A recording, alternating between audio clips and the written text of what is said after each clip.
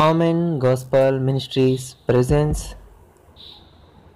the Bible stories యహోషువా శపితమైన దాని విషయంలో ఇస్రాయేలీయులు తిరుగుబాటు చేసిరి. కర్మీ కుమారుడైన ఆఖాను శపితం చేసిన దానిలో కొంత తీసుకొనిను. గనుక యహోవా వారి మీద కోపించాను.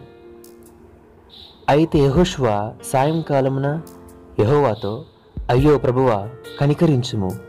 ఇస్రాయేలీలు శత్రువుల ఎదుట నిలవలేక వెనుకకు తిరిగినందుకు నేనేమి చెప్పగలను? అని అన్నాడు. యహోవా యహోషువాతో లెమ్ము నీవెలా ఇక్కడ ముఖము నేల మోపుకొందువు? నా ప్రజలు పాపం చేసి ఉన్నారు. శపితమైన దానిలో కొంత తీసుకుని దొంగలించారు. శాపగ్రస్తులైన వారు మీ మధ్య ఉండకుండా మీరు వారిని నిర్మూలన చేస్తేనే తప్ప నేను మీకు తోడై ఉండను అని చెప్పాడు.